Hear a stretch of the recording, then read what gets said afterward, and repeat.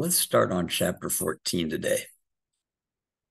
The two concepts that we want to talk about are composition and inheritance. And those are two very different things. And depending on what you're doing, you use one or the other, or maybe both. So let's start with composition. And that happens when an object is made up of other objects. So in chapter 13, the deck consists of a bunch of cards. So the card, essentially, a deck is composed of cards. And this is also known as a has a relationship. A deck has an array of cards. And here's the terminology, which I probably will not a- ever ask you about, but somebody might on the future test in another course, so you should know it. And here's how we draw such a relationship in UML. We use a diamond headed arrow. This one and many says that one deck contains many cards. So you can have a one to one relationship, a one to many, and so on and so forth. Okay, now that we know about composition, let's give ourselves an example by doing a Java simulation of a toaster. So we have to ask ourselves, well, what's a toaster built from? Well, it has a chassis with a number of slots, usually at least one and at most four, at least for most toasters I've ever seen.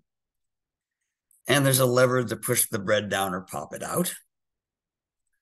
Then a toaster has a power supply somewhere in it to provide the heating element with the, uh, the power, and you can turn the toaster on and off. And finally, a dial to control how dark you want the um, toast to be.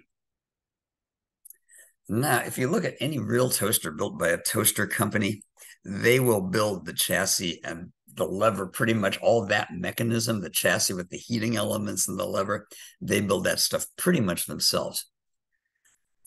But most companies that build toasters don't build their own power supplies and they don't really build their own dials.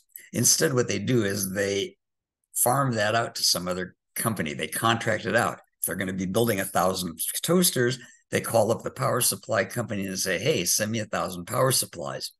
They call the company that makes dials and say, hey, send me a thousand dials with label from one to 10. And then they put all of that stuff together. So that means that our toaster has a power supply object and has a dial object. And here is the UML diagram. Let me show you a larger version of it here.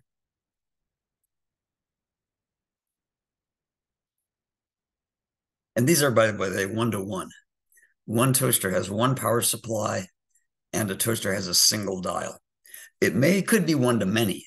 I've seen toasters where you have a different dial for every slot. But in this case, we've designed a toaster where there's one darkness setting that sets the darkness for all the pieces of bread. The toaster does the stuff that the toaster company wants the number of slots, the number of slices currently in this toaster, and the power is a power supply object, and darkness is a dial object.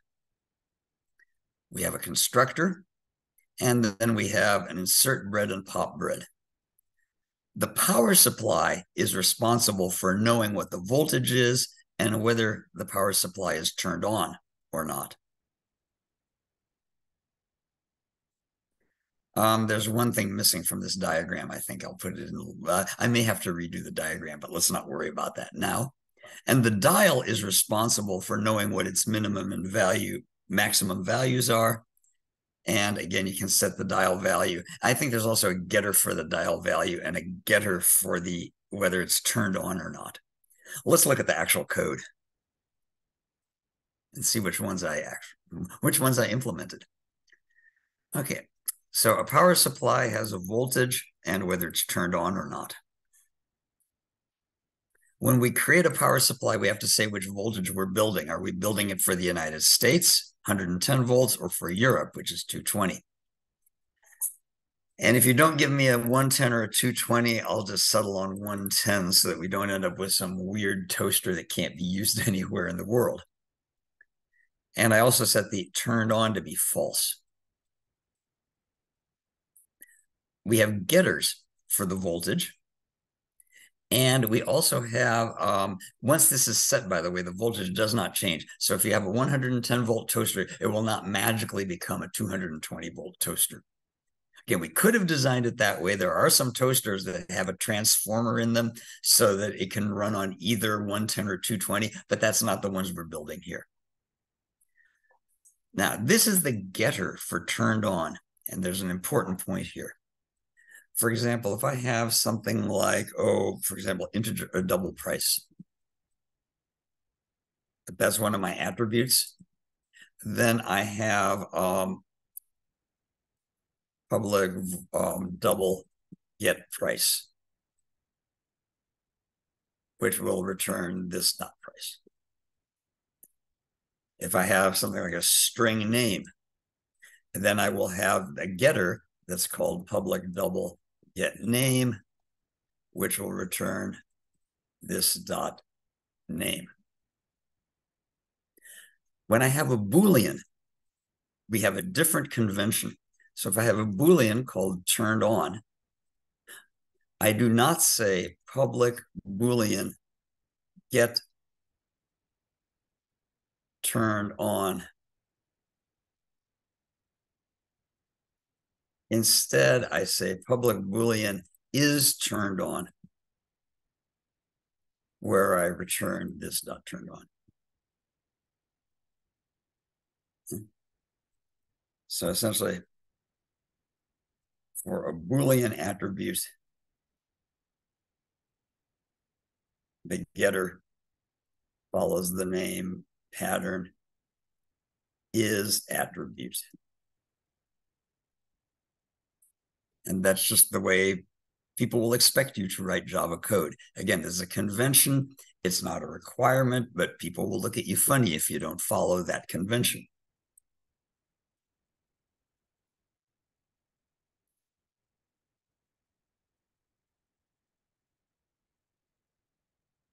And that's why I have is turned on returns.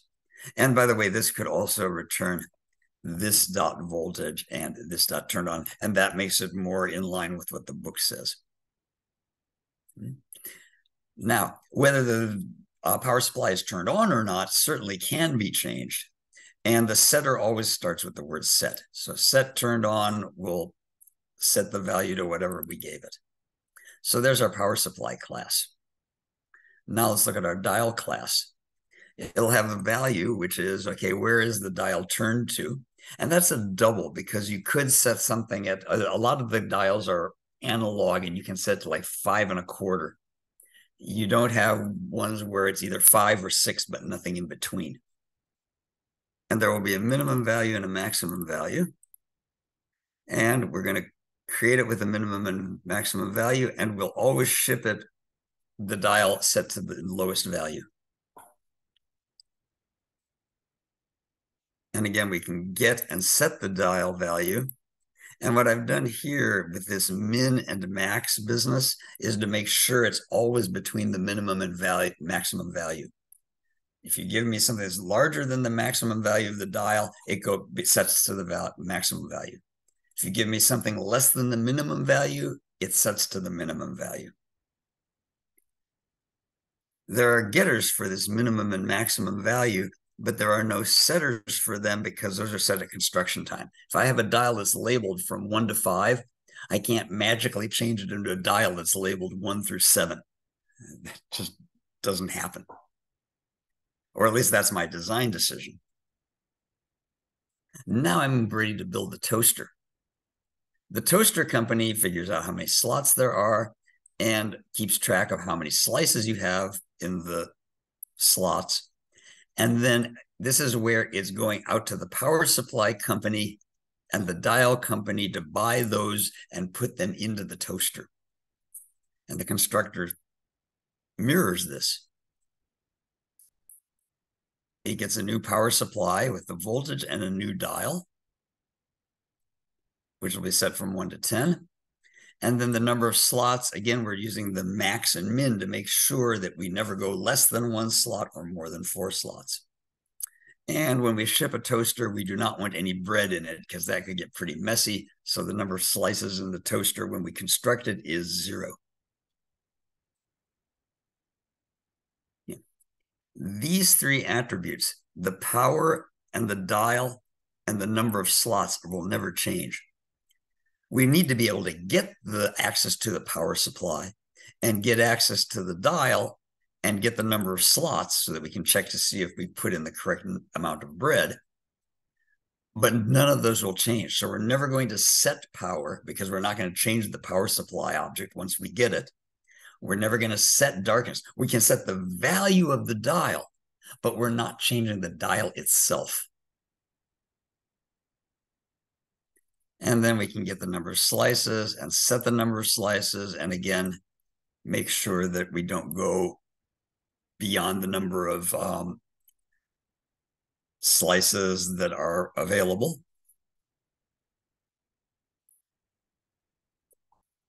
And then when I insert in slices of bread, if the power is turned on, I can set the number of slices.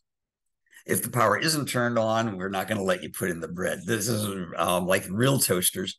If it's not plugged in, you can't push down the lever. It won't click down. And again, you can't pop the bread out unless the power is on. That's probably bad design, by the way. If the power fails, you'd really like to be able to pop out the bread. So whoever designed this toaster was not thinking ahead, but oh well.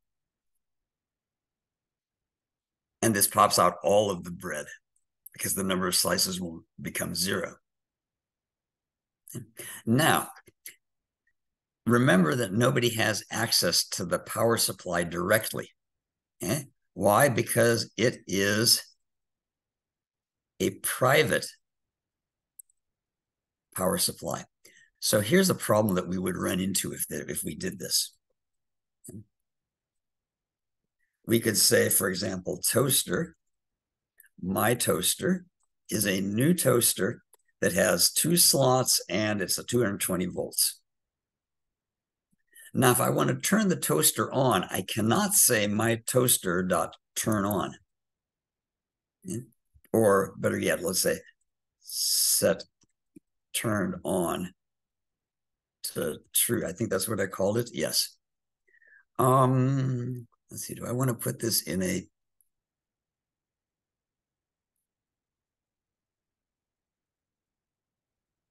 Unfortunately, the way I have this set up right now, I can't demonstrate it. Hold on a second. I'm going to pause for a moment and figure out how to get around this. Okay, I took out some of the code and put this in a different file here called test toaster test zero. Oh, by the way, I do have a two string method as well. Namely, it's going to give me the, um, let me clear that, by the way. Um, and it tells me how many slots there are, what the voltage is and how many slices and where the darkness is set to and whether it's on or off. So the number of slots, I get the voltage from the power supply, which tells me the amount of voltage, number of slices. And notice, by the way, here I am using um, a ternary operator. So it'll say one slice, but three slices that's what this S does that fills in this guy. And then there's the darkness. And then I check to see if it's turned on. And if it's on, I say on, say off, it's off. Um, in fact, let's do this here real quick.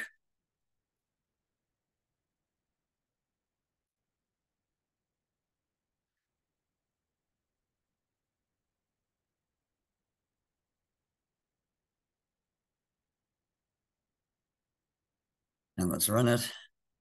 And we have a four slot 220 volt toaster with zero slices at darkness one, and it's off. Um, now, here's the problem that I was going to have to solve a little bit earlier. What happens if I want to say this? I want to turn on the toaster. If I try and say Euro 4 dot set turned on, it's going to complain. It says you can't find that symbol. Why? because Euro 4 is a toaster. And if we look at a toaster, it does not have a turned on method. The set turned on method belongs to the power supply, which is um, right here. that means what we would really have to do is we'd have to take our toaster, get its power supply, and tell that to turn itself on. So we're going to call the set turned on method belonging to the power supply that's inside of our toaster. And now it works great. And in fact, if we were to run this now, notice that the toaster is on. And similarly, because we have the dial value, we'd have to say, okay, we want to get the dial and then set its value to four. Insert bread doesn't need anything special because insert bread, remember, belongs to the toaster. Um, oh, very good. I'm sorry, it's called to get darkness.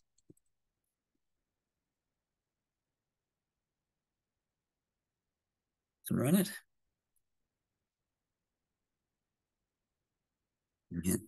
This is ugly.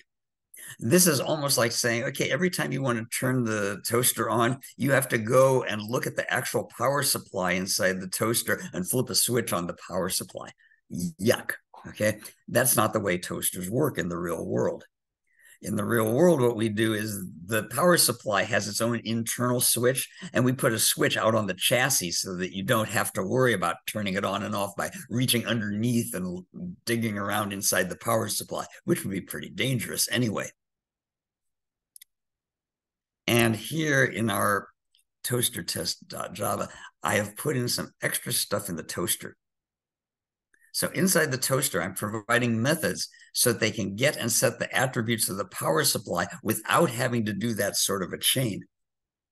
So I'm going to have an is turned on method, and that's going to go and access the power supply for me so that you don't have to dig around in it. Similarly, set turned on is going to now belong to the toaster, and it's going to intermediate for you by going and actually fiddling around with the power supply. The same with the dial value. I'm going if you want the dial value, I'm going to look at the darkness control, which is not really part of the, which is part of the toaster, but it's not something you have access to directly. And similarly for set dial value. And now once I have those, I can now access everything as though it were part of the toaster. If I compile this, everything's going to work great because when I say set turned on for the toaster, it's going to say, okay, I'll set the turned on to whatever you want, and I'll do it on the power supply for you so that you don't have to go and do it by digging around with the wires. And in fact, if we compile this and run it, we get this a similar sort of thing here. I didn't print it out before, so let's print it out before.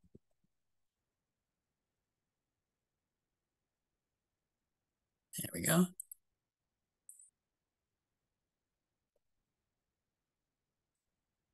Okay.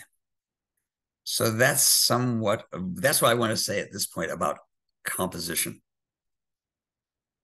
Um, and again, here's some other examples of composition a printer has a power supply. They go out and buy it from someone else. The printer drum and the toner cartridge. They might go, they might not build their own. They might get it from a company that specializes in printer drums and toner cartridges. Bicycles are made up of a gear assembly, two hand brakes, and two tires. So that's what you use to compose a bicycle. Now, there's that. Um, a refrigerator has a power supply and an ice maker, and it also has a compressor. And a window in a word processor has a, again, it's composed of a text area, a ribbon, the icons at the top, and the two scroll bars are part of the window. And the text here in the book goes and explains what I just talked about here. So we use composition when we have objects that are built up from other objects. And you should always provide methods in an object to give users access to private attributes of the sub-objects. They can still get to it by using the getter getter methods, but it's ugly. It's ugly as in this business that I have. So this is, let me put a comment in here. Providing turned on method in the toaster class, users would have to access the power supply using the get power method in order to turn the toaster on. And they'd have to use get darkness to access its set dial value method.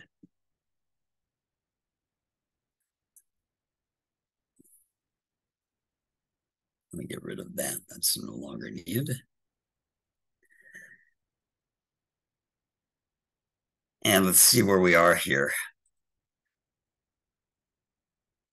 Okay. What's inheritance? Inheritance is an is a relationship, not a has a relationship. So in a card game, if you have a hand, it is also a collection of cards. Um, in some games, you take some of the cards that have been played and you put them on a discard pile. That pile is a card collection. So the hand that you're looking at, the cards in your hand, they're a collection of cards. The discard pile is also a card collection.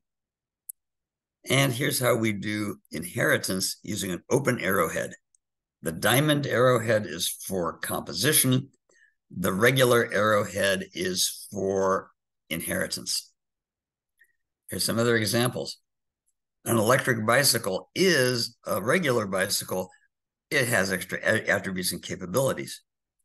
A trumpet is a bugle. Bugles don't have valves or keys. Uh, a trumpet lets you play more notes because it has those little keys that you can press. An alarm clock is a desk clock with extra attributes and capabilities.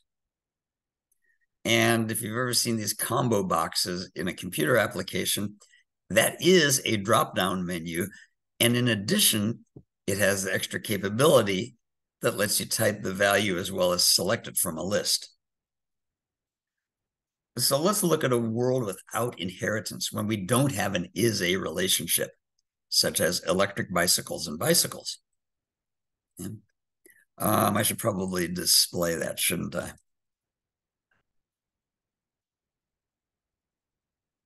That's a little bit easier to see. And let me make that a little bit larger.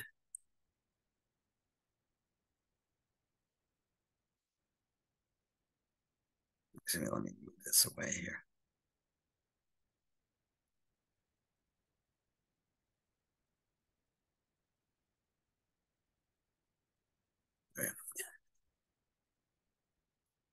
So a bicycle has a color, a frame size, a number of gears in the current gear. And an electric bicycle also has a color, frame size, and number of gears and current gear. And in addition, it has the battery capacity, current charge, and max speed.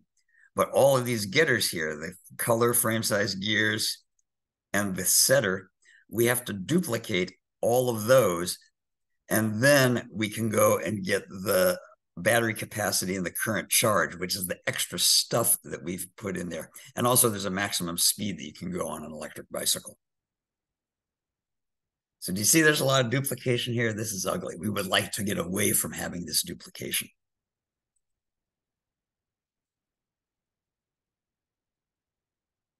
So here's what we're going to do. We are going to use inheritance. And let's look at that diagram.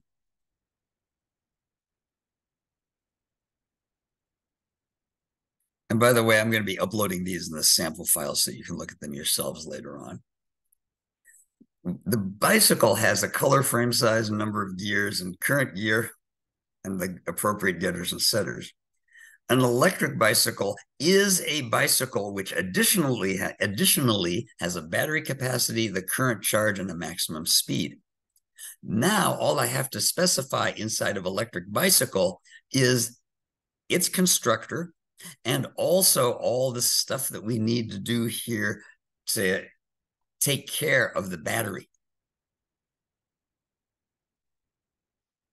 Now I don't have to duplicate the get color, get frame size, or any of these attributes. They come along automatically. So an electric bicycle inherits all of the attributes and all of the methods of bicycle, and then adds whatever attributes and methods it needs to distinguish it from an ordinary bicycle.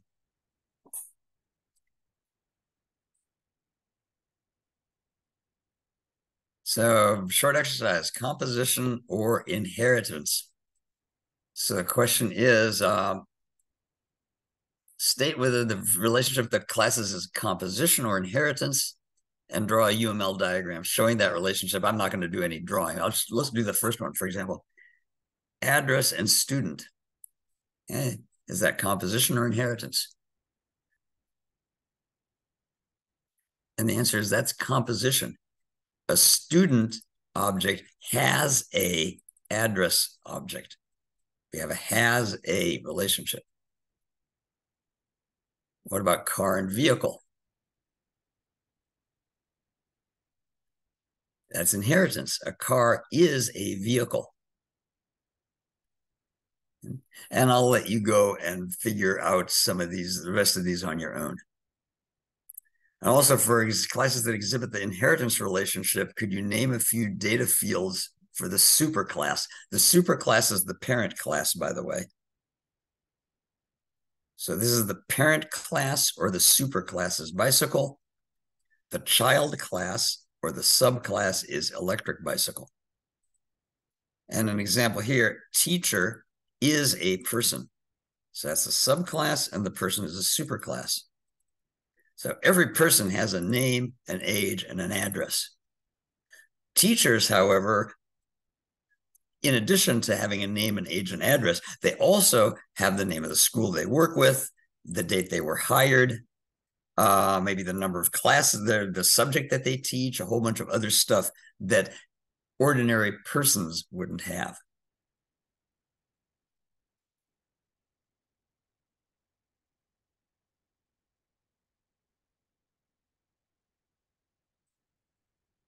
I think this is a good place to stop talking about inheritance, and I'm going to pick this up on Monday. Or if I have, feel ex exceptionally motivated, I might do a mini lecture tomorrow and um, talk about more about inheritance. And then at some point, I'm going to get onto polymorphism and dynamic binding, which is a big ish subject but that's for another day. Um, and I will see y'all around online. That's it for today.